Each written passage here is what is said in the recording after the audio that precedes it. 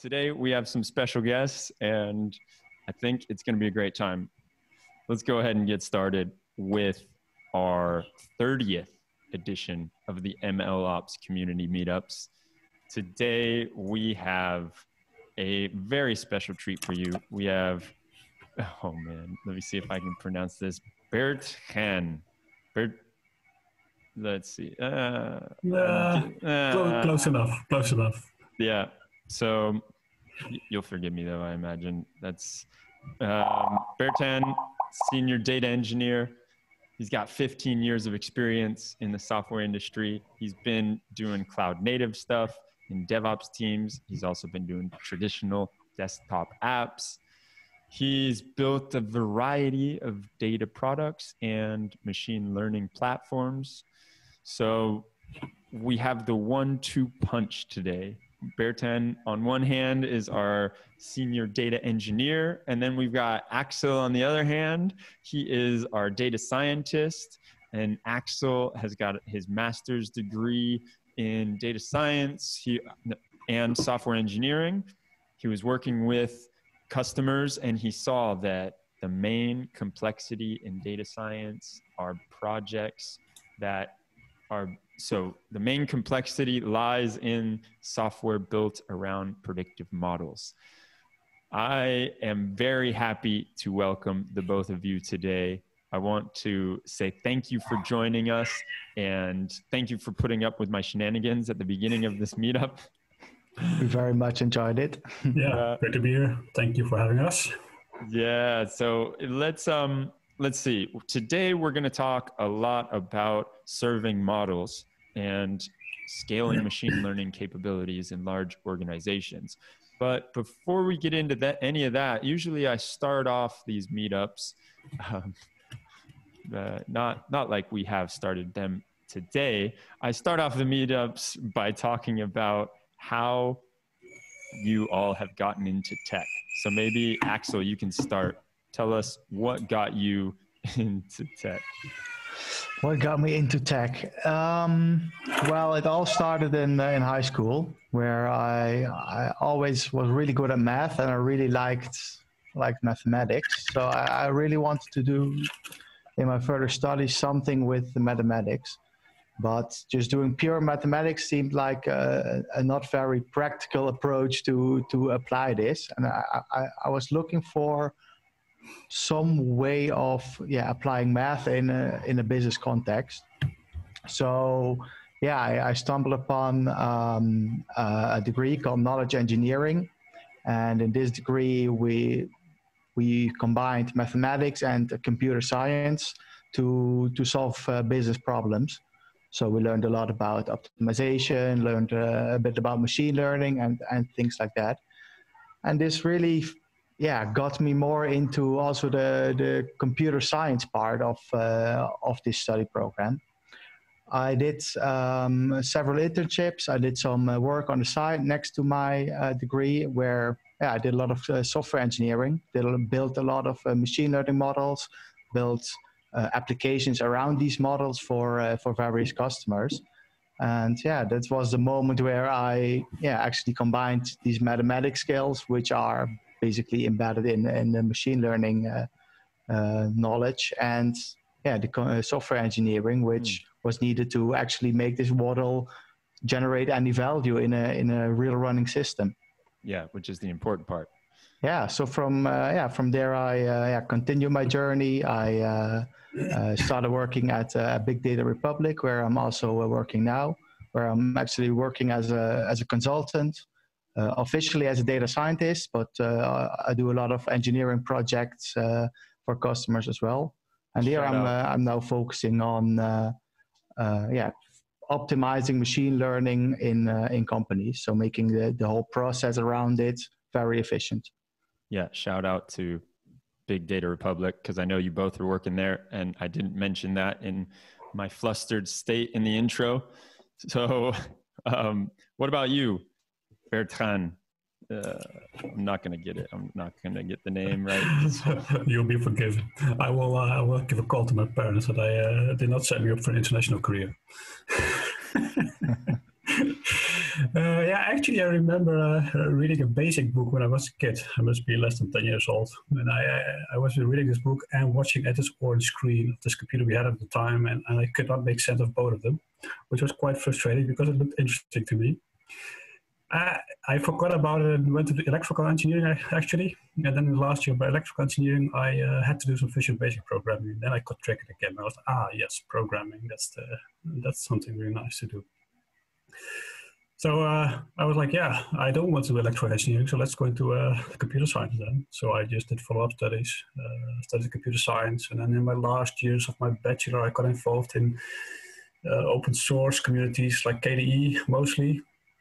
Uh, did some summer of code projects there, did some work on the KDE PIM uh, application suite, and learned the nice parts of software engineering there. Afterwards, I went into research I'm, I'm still, I, I still not, not make up my mind if there was a cool thing or not. Uh, I guess I learned a thing or two, but uh, uh, did some research uh, mostly on uh, data visualization and data analytics, uh, not predictive analytics, but more like exploratory analysis.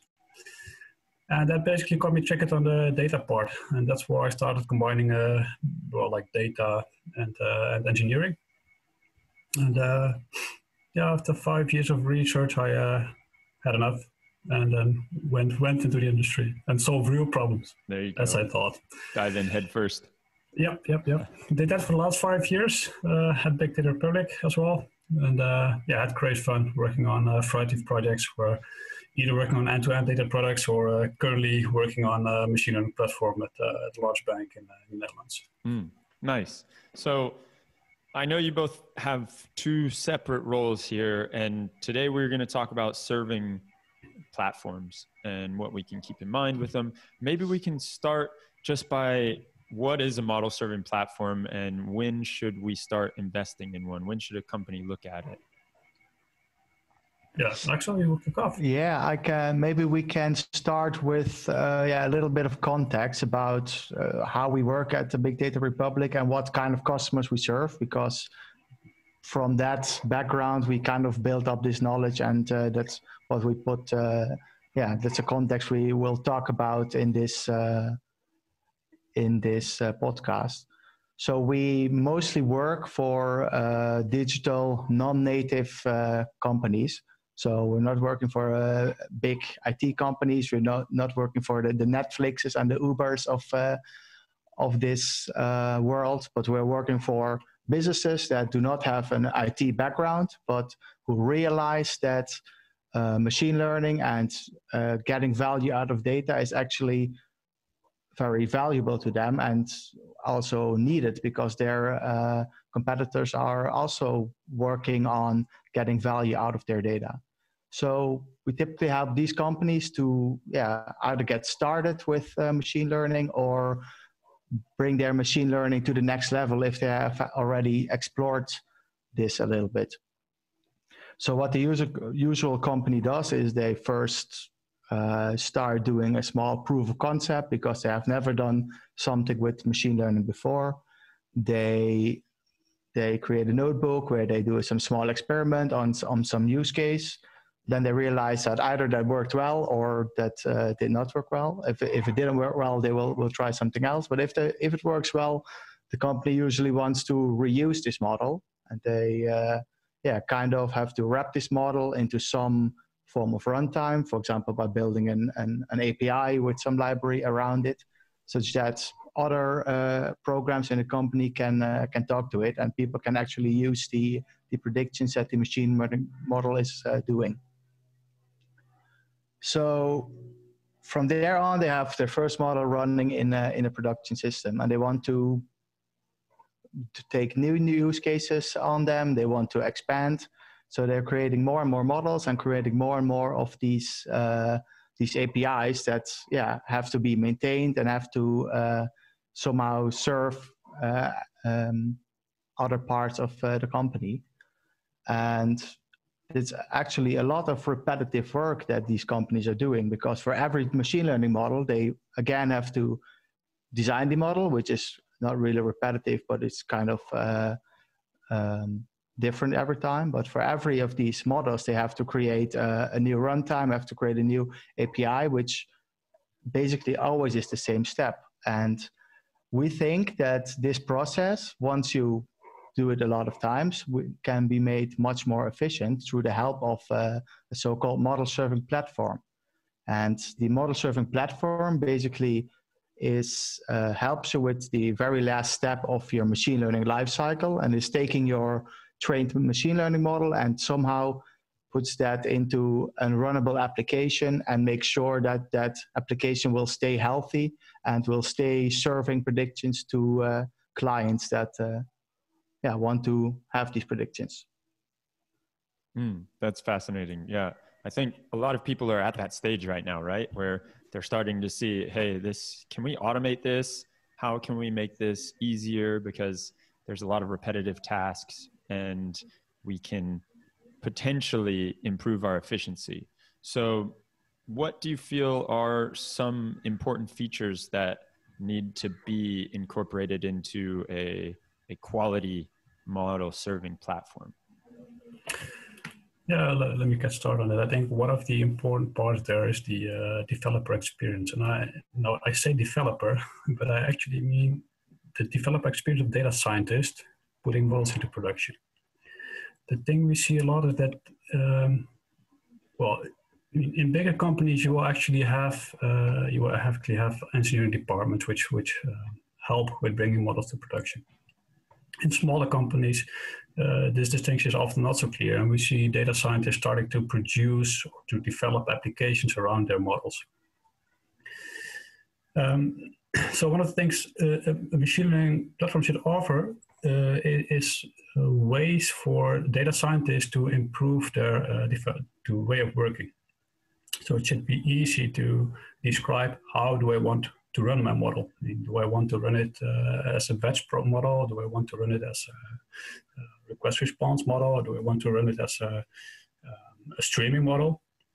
Um, and preferably do it in such a way that if, if a data scientist says, uh, I want to run it as a batch model, that he does not have to set up a Spark cluster, for example, but that, that the framework itself takes care of wrapping the model in such a way that's suitable for batch processing, or wrapping it in such a way it's suitable for uh, request response uh, serving.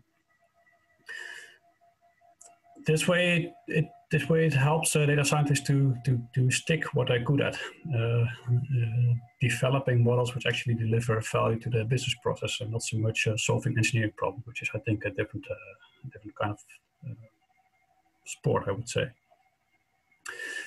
The other thing I think which is really important is um, CI/CD. Basically, when we talk about uh, bringing machine learning models to production, we, we're just talking about uh, a software delivery uh, process, and we know how to do software delivery. I mean, there has been extensive research in this field, and the literature is quite clear about that kind of capabilities you need to do effective software delivery, and CI/CD is one of them.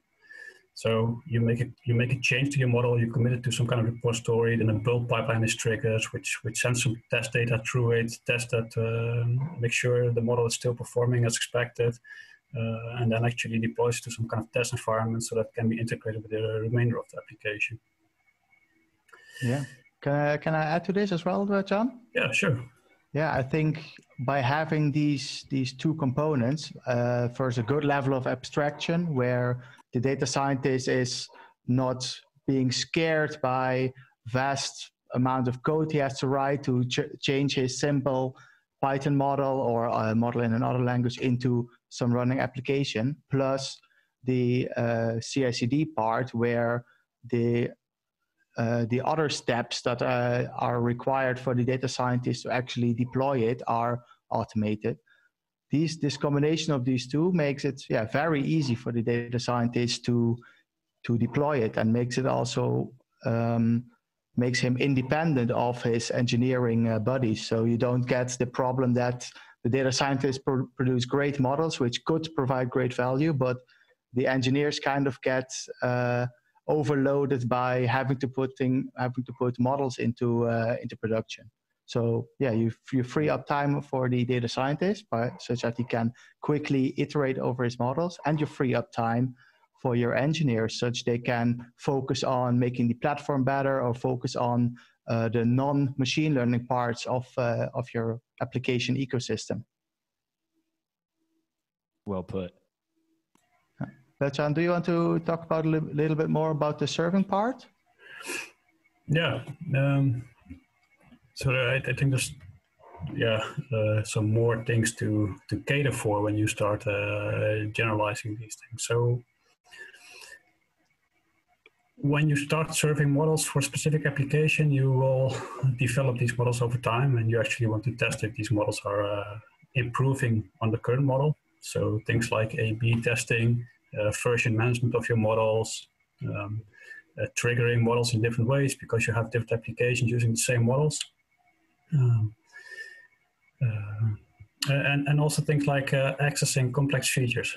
So typically when I think about the model, for me, it's just like input to output. It's just like a simple transformation. And of course, the, the transformation itself can be a complex thing, but it's often not that easy. Uh, for example, in the banking world, you have transactions and, and many of the features are things like the average transactions amount over, over the past week, for example.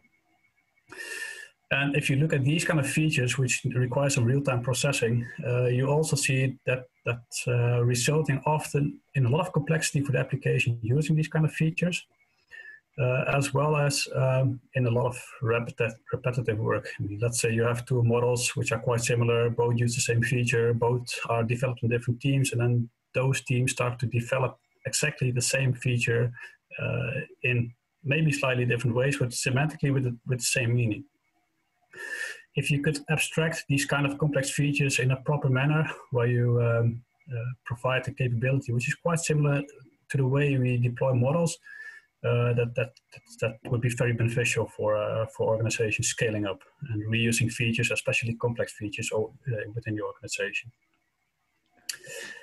One of the other things is uh, when you run models, uh, when you run software in general, you're of course monitoring it. And um, when you bring a model online, you're of course interested in the in the in the technicalities of the model, saying how many requests is it uh, serving per second, what are the response times, uh, how many uh, failures do we have, and so on. But machine learning models are of course a bit different than normal software because we also have these uh, functional re functional requirements which we want to monitor. As in, um, let's say we have a feedback loop in place, we want to make sure that the model is performing within certain bounds. We also want to know if the features uh, which are serving as input for the model are following certain distributions. So we want to uh, detect things like data drift and um, um, yeah, concept drift. And for anyone, sorry to interrupt real fast, but for anyone who wants a deep dive on monitoring, we've got on the YouTube channel a few weeks ago, we talked with Lena and she walked us through a use case of when she was working at um, Zalando and how many different bugs she encountered just in the whole process and how you can start to see wow there's so many pieces to this puzzle and each little piece can have a bug and i will never get a sign if i'm just monitoring hey is everything on is it, it okay my infrastructure is working but my model could be going haywire right? So exactly, yeah. you, are touching to a very interesting point here. The, the way I look at the machine learning models is they're basically part of a business process on which you, with some follow-up actions should incur, and then at some point you will get some feedback. And if you look at the decision literature, it's basically shown that these are uh, complex processes which need to be treated differently than let's simple or complicated processes and especially the ability to iterate quickly and to monitor to see what's happening are two important capabilities you need in order to to deal with the complexity of the whole situation. I mean, the, the model is just, uh, in my mind, it's just a, very small piece of a quite a complex puzzle. So everything which helps you to iterate quickly, try a new model, try a new model, try new features, and so on, will help you to keep track of this bigger picture as well. Yeah, and by putting all these features that Bertjan is now talking about by putting them in a platform, by bringing this platform to your organization and having all your data scientists giving access to this uh, this platform, you yeah you make sure it's all standardized. All the people used uh, the same features. also if you have to update some of these features or if you want to improve them. For example you you have a, a, model monitoring solution in place but you want to monitor some additional things that you haven't thought about before. You you you have to only change it in one place and not have to ask all your teams to to do it or give all your teams the the information that they require to to monitor their system uh, even further. So that's i think one of the really powerful powerful features of uh, adding such a platform to your organization. Yeah, I completely agree. Was there anything else you wanted to touch on, Bertjan, before? I think you're on mute. Yeah, I'm on mute. I just uh, realized. Uh, no, I think we, we, we covered most uh, most important topics with respect to the features of such a platform. So my next question was around like all the different tools that are out there right now. I know there's a lot of people that are probably have played around with something like MLflow or Seldon. Maybe they're using it in in their day to day. And do you have any insights on when to use which tool? What kind of use cases would be um, would be for like something like Seldon or oh well maybe I need TensorFlow serving or Kubeflow serving that kind of stuff.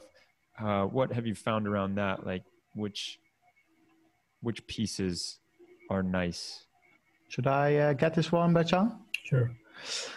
I think here it's uh, gonna give a really consultant answer. It depends. It's uh, it really depends on what your what's what your company needs and what what phase of maturity your your organization is in, yeah. what are certain standards within the organization that you have to have to take care of, and yeah, these really make yeah make it hard to give like a, a single uh, have you seen on. something like oh well if it's maybe less maturity you recommend this platform or if you're a much more mature company, then you can recommend this one, or is it not along those lines?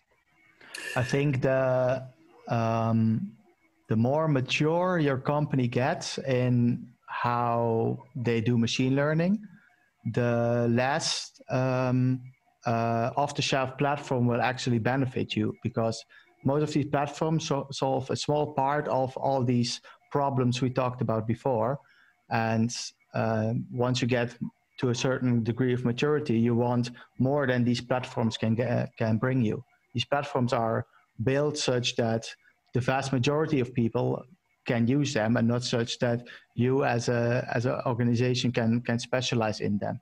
So I think once you when you get started using these platforms, I, I think it's a good kick off to uh, to get started, and it, they can give you a lot of inspiration in how you could eventually maybe build your own system.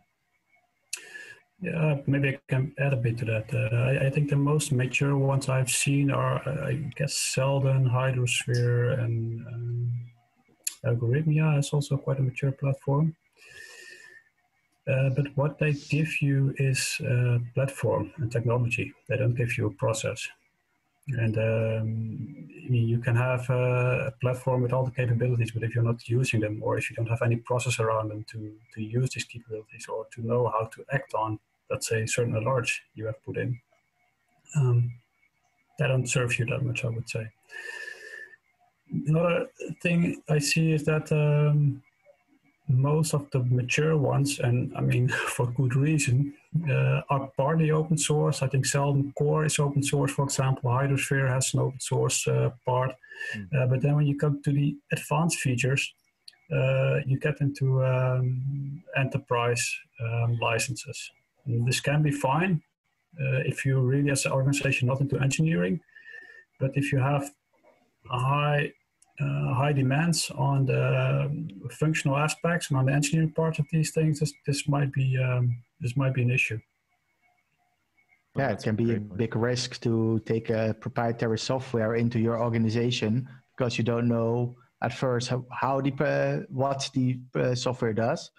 Well, you kind of have an idea, but you don't know under the hood how it works. you don't know how well it works and you don't know what the future of the, the company uh, that you take the product from uh, will look like. So if the, the, the, company gets out of business or has some form of uh, shift in their company that might not suit your needs, then yeah, you have no way of actually changing that because it's a proprietary software. So yeah, and along those lines, does that kind of it makes it seem like you normally are building custom solutions for clients or are you using some of these off the shelf tools i think it really it really differs because yeah as we said there are so many different organizational re- uh, requirements that yeah, for some companies it makes sense to uh, to take an off-the-shelf product like uh, some Kubeflow or a Seldon serving. But for some companies, they they have totally different requirements, and they they're actually building their own, and that's what we can also help with. Yes. Yeah, to a large extent, this is uh, a matter of timing. For example, the team I'm currently working in, I started working there two years ago, and when we when we were starting the work there, we were reading the blogs of uh, Uber, which is a Michelangelo platform. And I think this was one of the more advanced platforms at the time, which was published about. And it um, described a lot of ideas which we want to implement at the time. And uh, I guess Seldon and Hydrosphere existed at the time, but were definitely not as advanced as what Uber uh, Michelangelo was uh, offering at that point. And uh, yeah, that led to a uh, decision a team to, to, to build something from scratch. Uh, but so that was a timing issue basically. I mean, if we if I were starting the same team this time, I would uh, make different choices clearly. Um, but that that's still not leaving out that even over time you can uh, merge uh, custom solutions with, uh, with, with existing platforms as well. So, for example, we're currently evaluating uh, Seldon and Algorithmia to see if we can uh, replace parts of our custom build pipeline with, uh, with, with parts of those platforms. In any way, I, I, I find that even if you choose for a platform, you, you have to you have to integrate an organization. Uh, let's say companies use GitHub internally or GitLab for something for for um, managing their model code, you will have to integrate those repositories with some kind of build tool like Jenkins, GitLab Runners, whatever it's available within the company, in order to trigger uh, builds and deployments on on the platform you're integrating. So some I, I cannot imagine that there is no custom work at all involved, even if you if if you uh, if, if you plan to use a platform to its full extent. Yeah, I I think you're, you're very right there, Bertjan. There, you can really take uh, some platform as a basis and then either in-house adapt it even further or maybe if some of your ideas are broader applicable you could even maybe give something back to the open source community and work together with with the uh, makers of the platform to yeah make the platform for example more secure or add more features to it that uh, that you require and that others might also benefit from. Excellent. So now when we talk about these different kind of platforms there's a lot out there right? Um, we've talked we've touched on a few have you seen big differences between different platforms? Um, should I take this one, Bertjan? Um, I think most of these platforms they um, solve the main problem that we have been talking about the whole time, and that is bringing some model artifacts, some uh, serialized model, into some running application. Uh, that's what they all do, and they all kind of do it well because if I have a piece of Python code or I have uh, uh a TensorFlow object or uh, a scikit-learn object, I, I, can pretty pretty easily get that into a running application. So that's that's all pretty the same for these uh, um, these systems. The way they do it that differs quite a bit. So the the abstractions they use, the the way of integrating this code into a running application that that's what differs. And that's also yeah one of the parts where yeah you have to think thoroughly what what fits my company well what what of the which of these expressions do i actually like. Also i think most of these solutions Bertjan correct me if i'm wrong but most of these solutions they focus on request response models so they expose uh, a rest api or some uh, grpc interface and they do not focus on uh, batch or streaming apis where yeah some companies we work with they uh, try to work a lot of with, for example, streaming APIs, and uh, sometimes batch APIs might uh, might work well as well for some use cases. So yeah, there the, the platforms are actually also uh, quite similar. Yeah, to add to that, if you look at the platforms which um, target corporate environments, then you will see that there's of course a lot of um, attention to security, governance, uh, like auditability of models, where do models come from, with which data were they trained, uh, which version is currently running into production, security, who has access to this model, which applications access to this model, do we use TLS certificates for, for accessing, uh, for the over-the-line encryption and these kind of things. Um, uh, that's, I think, where the, the bigger ones, such as Algorithmia and Seldon, uh, really stand out with the uh, level level of um, with the depth of tooling they offer to to to be successful in, in corporate environments where the, these kind of requirements are actually much more strict than in, in startup like companies. Yeah, and we've talked uh, about that before with um, Sarav when he was on here and how he was able to put together a an open source like basically a machine learning platform end to end. And what happened was is that it was great. He put it together. It worked really nicely. But then when you want to implement that into an enterprise, you really have to think about all this stuff that you just talked about. And you really have to be sure that you're not going to get into trouble later on down the line because you can't answer some of these questions that you were just mentioning. So that's um yeah, that's that's a perfect way of putting it how you're saying like there's much more behind what is happening, not just the serving platform. You also need to know all this stuff too. And yeah, that, that's to me what's what makes this problem really interesting. I mean, um, uh, I mean, uh, the bank where I currently work, I mean, they, they basically have classifications for different kinds of data, and the way data is classified basically determines uh, through which systems it can and can't go. And if you want to be one of those systems to which this data can go, then you actually have to, yeah, have to keep track of a lot of things. And um, hmm yeah, the more a platform can help you with that by providing all kinds of proofs that uh, data is encrypted and all these kind of things, that you have access control and you can integrate with uh, with your organization LDAP system or whatever they're using to to do uh, authentication and these kind of things.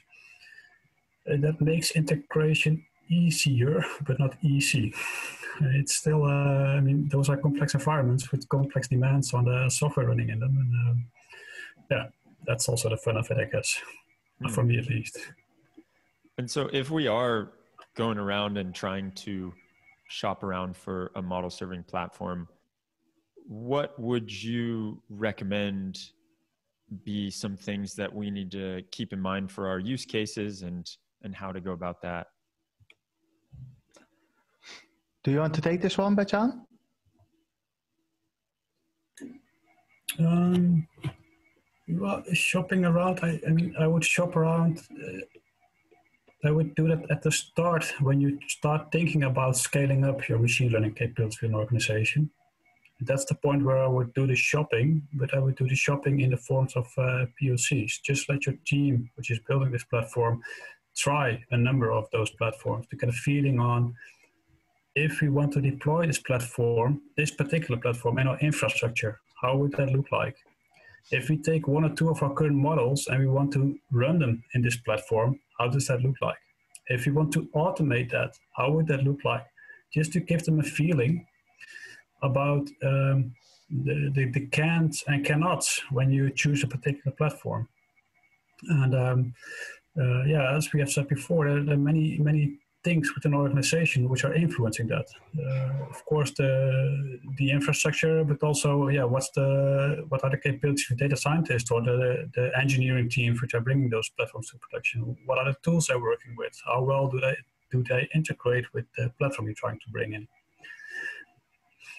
And the way we address, uh, the way I normally try to address this is by by taking like three or four use cases in the organization and just go with the teams through the process of bringing the current process of bringing the model online. So, which steps do you need to take in order to run your model in a compliant manner? And if you look at these processes, you will of course see a number of similarities, and then you can talk to the team like, "Hey, if we have to solve one problem to speed this process up, what would it be?" And I would start with this problem. Okay, let, let, let's we have now evaluated three or four platforms. Let's pick the one which seems most suitable and solve this particular problem and onboard those four use cases in order to prove to these teams that it actually brings them something. Because when you look at the platform, I think what's very important to make it successful in the long run, that you actually get it adopted by the teams who are supposed to use it. If you fail to do that, just bring in the platform and, and say, okay, from now on we're going to use it, then I would say you're bound to uh, bound to failure, basically. Yeah, yeah, I completely agree with you on that. And so, along those lines, what do you feel are some important factors if I want to decide to buy it? Would it be the same thing to look at? I know there's probably a lot of crossover, but is there anything else that you want to highlight that might stick out? I, I, find this a very intriguing question because uh, I, I think a lot about this question. The, generally, if you look at building a platform, let's say you have a team of four or five people building a platform. I mean, the math is pretty simple. What it, what it costs only to run this team, and I'm just talking about paying those people to be in your office for 40 hours a week. It's quite huge already. So, as an organization, you either must have a very clear view about what machine learning is bringing to your organization, and that can be financial, but it could also be um, uh, yeah, customer loyalty or whatever. I mean, I, I don't care what's important to you, but you must, I think, in my view, you must have a clear view as an organization what machine learning is bringing to your organization. If you don't, you're spending a lot, a lot of money. And then so then if you start talking about buying, you're just adding to that. So then you, you as an organization, you're at a point where you either made a strategic choice, like, hey, uh, we want to become a data uh, data driven company, and we see a strategic value of machine learning in that strategy. Uh, so then costs become less important, and then then I think uh, the machine learning platform itself is not the highest cost anyway. Yeah, I remember I, as you're talking about that, I remember a story of a guy I was talking to uh, almost a year ago, and he was a consultant in a company, and the company was trying to change into this data-driven platform company, right? Or like a data-driven company, I should say, and right now all of the higher ups were just looking at the data science team as a money suck. All they were doing is just walking around. They weren't putting anything into production. They weren't doing much looking at data asking for more data and they weren't actually producing anything. And so the you know the c level executives were like hey what are we paying these guys for what is what is going on here? And they couldn't figure out the value. And so do you have any any experiences like that? Have you seen that? And how can you get out of it if it is the current experience maybe for some of us? Yeah i think this is uh yeah a situation that we actually see a lot where uh a company wants to do data science, so they hire a bunch of uh, data scientists. Uh, they pull open another can of uh, data scientists, and uh, give them a lot of data and expect that uh, a few months later uh, something magical happened and they, they earned a lot of money. And while uh, the data scientist is really good at uh, dissecting a business problem into uh, a data problem and by building a, a model with data to solve this problem, the data scientist is generally not very experienced at software engineering at, at um, yeah making this uh, model turn into an actual value generating application. So yeah we see this problem a lot and the solution is here. Yeah the the engineering part is missing. So if you get started doing data science focus on uh, a proof of concept focus on one use case. If it's in an early stage seems to generate value make sure that you build an end-to-end product out of it and prove to your uh, to your C level that it, it actually generates value. And from there on, the, the trust is there. You can expand your teams with more engineers, with more uh, data scientists, and you can together build a, a, ecosystem of running applications rather than an ecosystem of uh, Jupyter notebooks that are never looked at again. Yeah.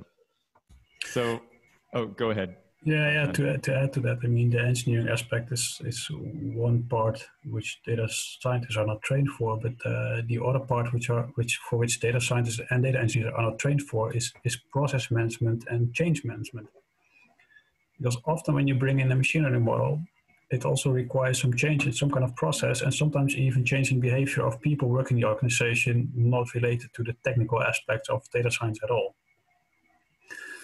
And um, that that that's exactly why why I was talking about this complexity problem before because I mean creating a model given that you have data is a challenging part but not rocket science.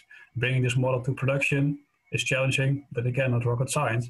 But then adapting your organization and your process in such a way that the model actually starts changing the way you behave as an organization or changing the behavior of a particular process in your organization that's the really challenging part and um, well, I mean, in my career, I actually start to realize that, that, that I should pay more attention to this because you can. I mean, the technical problems are really fun to work on, hmm. but in the end, uh, you're not paid to do fun things, but to actually add value to an organization, and and this is a really important aspect of that. Yeah, it, it reminds me of a talk that we had with uh, Charles Martin, and he was very adamant about how MLOps is an organizational problem it's not necessarily a technical problem.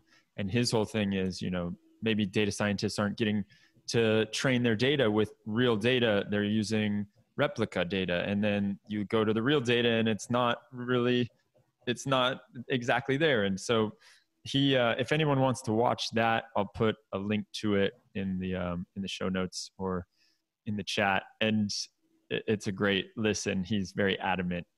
Um, but so I got another question here about different languages, and I know that Python is kind of eating the world right now.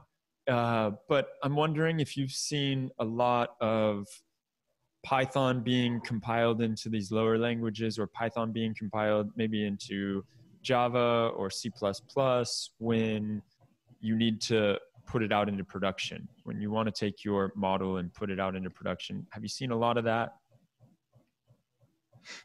Do you want to take this one, Bertjan, or should I uh, go ahead? Yeah, I can can talk a bit about how we approach this in uh, my current customer. Um, we said from the start that we wanted to be language agnostic. Um, you had seen an initiative before where they used uh, as the interface uh, between the model developers and the, and the hosting platform, and yeah, to some extent that works. I think they run quite some models within this organization uh, this way. Uh, but sooner or later you hit the limitations of PMML. Um, and the way we worked around that was not by compiling languages into other languages or into lower machine code, but by uh, setting an interface which we expect on the on the function level. So basically, our level abstraction from the data science team is a function. We, we say, okay, given that you have Python, your model has to implement this function with this interface. It gets certain input in this format and produces an output in this format.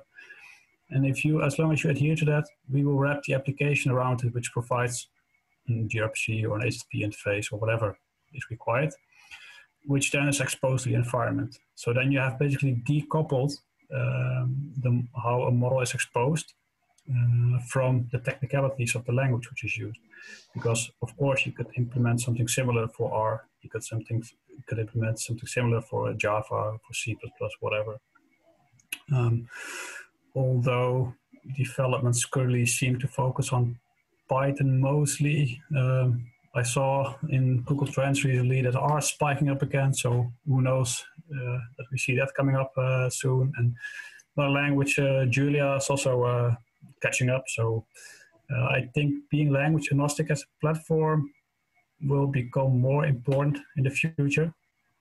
Uh, but that does not necessarily mean that you have to compile languages from one to the other. Unless you get to very specific performance requirements, I guess. Uh, can you talk a little bit about those? Well, I mean, if you really make need to make a prediction within uh, uh, within a couple of milliseconds, uh, you cannot make it happen uh, with with Python uh, because of the inter interpreter overhead or something like that. Uh, then then you then you need to figure out what to do. But that that that's I would say that that's definitely not the majority of cases currently. So you will have to bring in a specialist anyway then. Yeah. yeah. And I also think by forcing your prediction code into a certain language also yeah creates a barrier between people that do experiments and people that create production applications because often uh, a Scala or a Java programmer is a whole different type of person or has a whole different skill set than uh, a Python developer or maybe a data scientist who, well, it's also partly a, a Python developer. So by saying, okay, you have to compile your models into some other language or your system in some other language, you're basically saying, okay, the data scientist can only do the first part and the, the Java developer has to do the second part.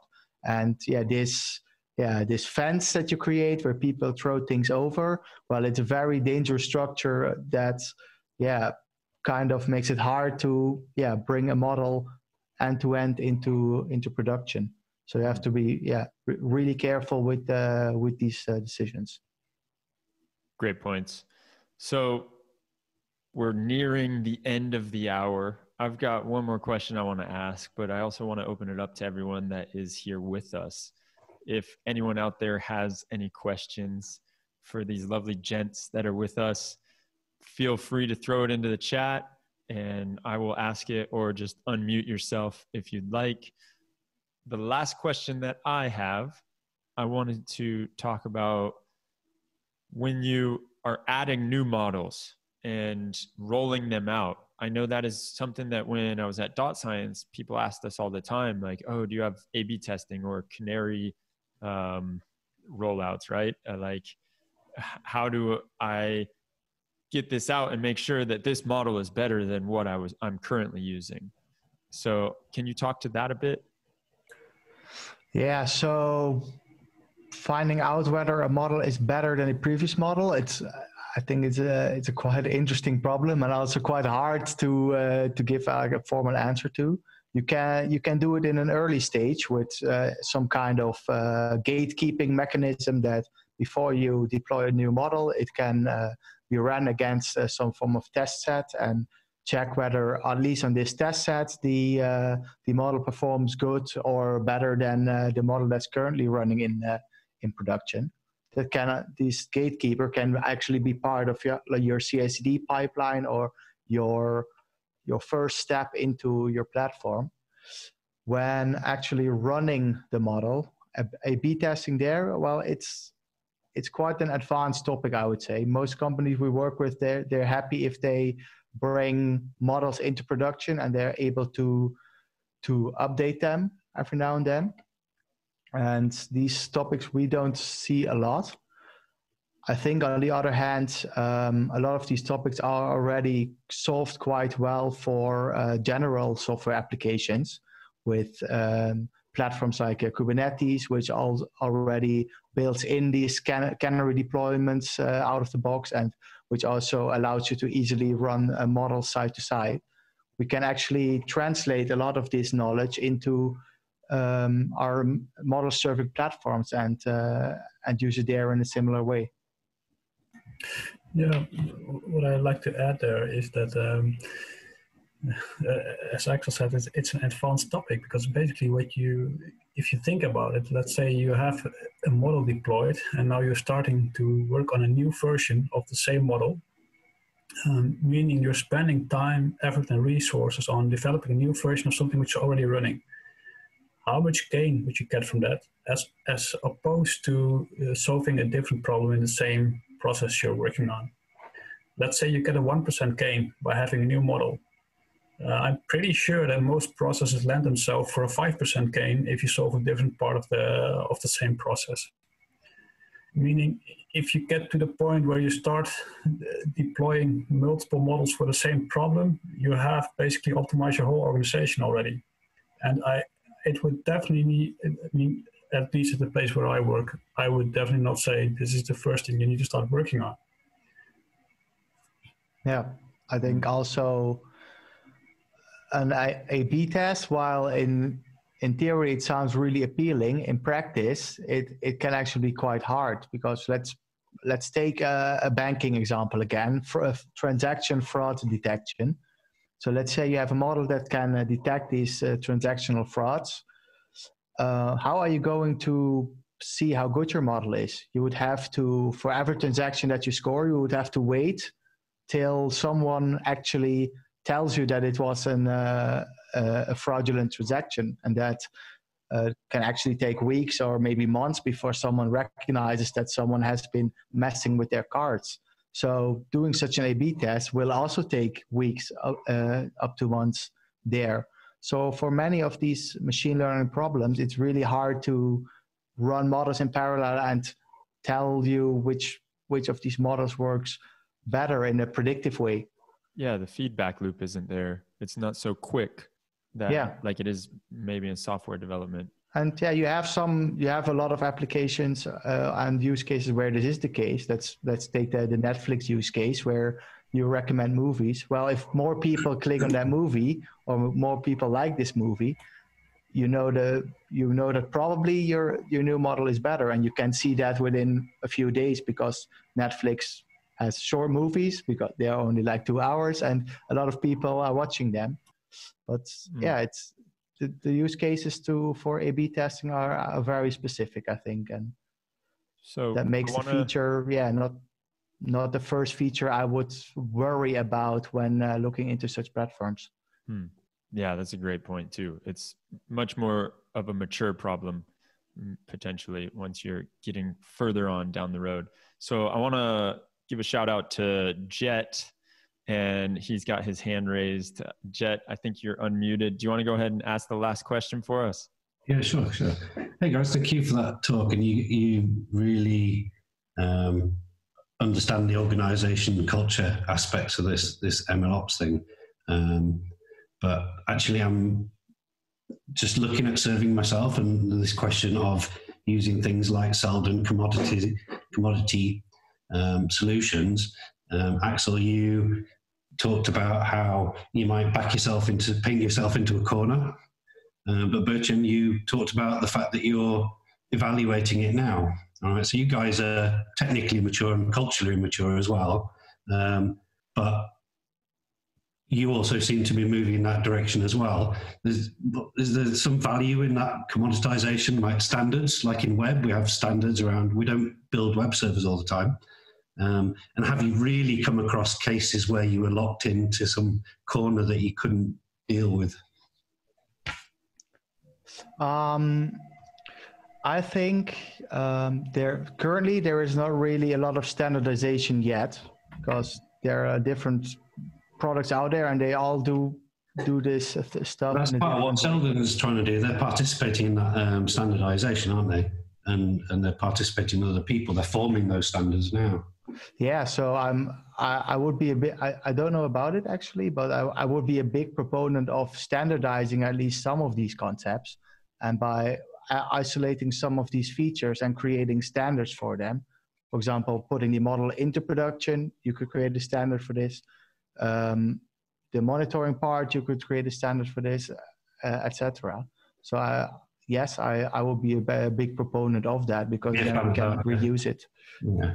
And have you really, you know, how often do you paint yourself into a corner? Um, you know, I think you guys are right. The, the problems aren't in these little corner cases or in A/B testing or any of those things that sound exciting. It's just the basics of, of the culture, getting people to use these ways in ways that are optimal um, for the for the thing. And you know, worrying about serving infrastructure, if we can simplify that, is that not better rather than worrying that might be some edge case we can't support?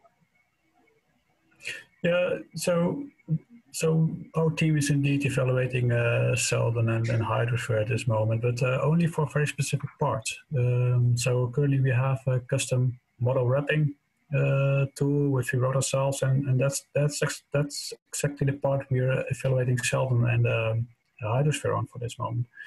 And um, generally, I mean, as an engineer, and uh, but then, I, I would I would go for open source tooling as much as possible, Yeah. and not go for buy-in uh, for for uh, for off-the-shelf components which, are closed source, because then sooner or later you will probably hit some kind of limitation within your organization. But on the other hand, this could be a conscious choice to take a look, for example, at Seldon and Algorithmia. Those are uh, getting to into decent companies with with good engineering teams behind behind those toolings and then you can basically just choose as a user like hey uh, in the same way you choose uh, azure over aws you know both more or less offer the same capabilities both have their own limitations. Sooner or later you will run into them but you make a conscious choice not to um, not to hinder yourself by those because you know that the overall gain i get from choosing azure or for choosing Seldon is much higher than the limitations you will eventually hit into. And especially when companies behind these students become more mature, it becomes more appealing to start integrating them in, in your organization. Very well put. And thank you for that question, Jet. I see that Joe had his hand up too, and I want to be conscious of y'all's time. So, do you have enough time to field another question from Joe? Yeah, For me, it's uh, completely fine. Yeah. Cool. I, I love it when you all get into it. Uh, and so, Joe, if you're unmuted, feel free to jump in and ask away. Oh, sure. Uh, I, I guess let me start off with a, a statement first.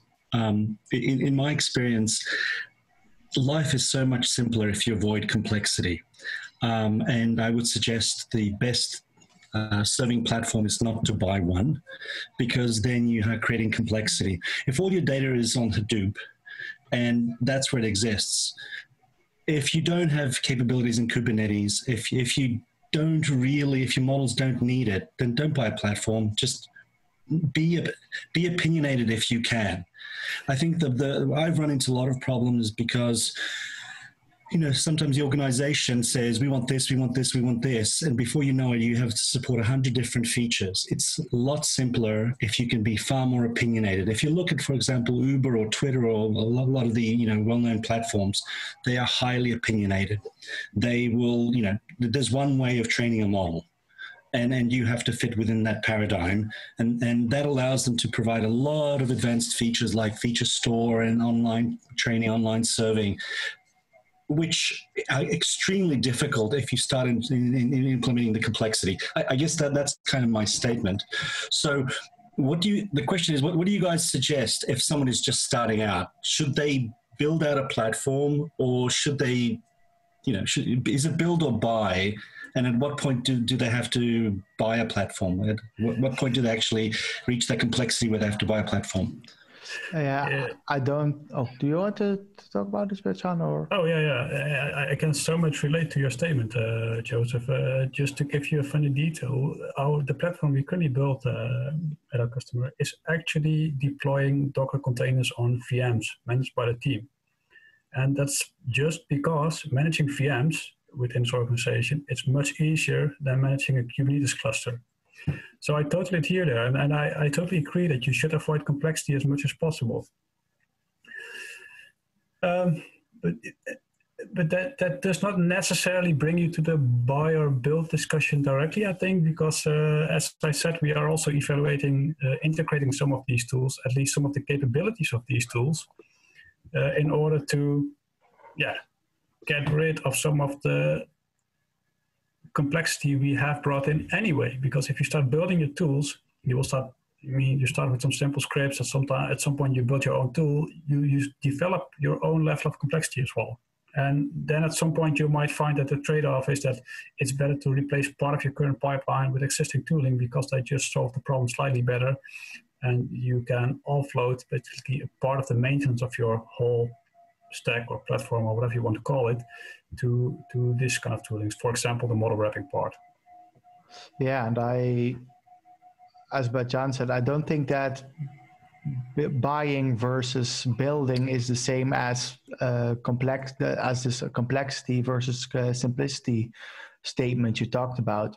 If uh, product you buy actually fits really well into how your organization already works, well, then it's actually quite simple to uh, to get that product. Instead of building basically the same product yourself with uh, some minor uh, minor tweaks on them. So the the point is you have to analyze what your company needs for uh, yeah and such that you can actually make a, a good decision here.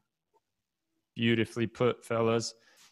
I want to say thank you and really it's been an awesome discussion about serving platforms and the whole just universe that comes with it, right? It's not just about a serving platform because there's so much more that we need to look at when we are talking about serving. And I want to thank everyone that is still here with us. It's been an awesome chat with you two. It's been really nice. If anyone is not in our Slack, I'm just going to say it again jump in it. I want to also mention that we are doing model, well, we're calling them engineering labs. And in the MLOps community, we're going to be doing what we're we've labeled as engineering labs. If you want to know more about it, it's basically like a voyage and we are getting people to practice these different use cases and try and use real world uh, problems that we need to solve but you know away from work so you don't have to mess anything up. And you get experience through doing but you don't have all the pressure on you that you're going to destroy something at work and cost the company thousands or millions of dollars. So big thank you to you both. It's been awesome and i hope everyone has a wonderful day. Enjoy your summer day. I will see you all next week for more of our ML Ops community thanks guys Thanks Thank you very much, Dimitris. It was a pleasure.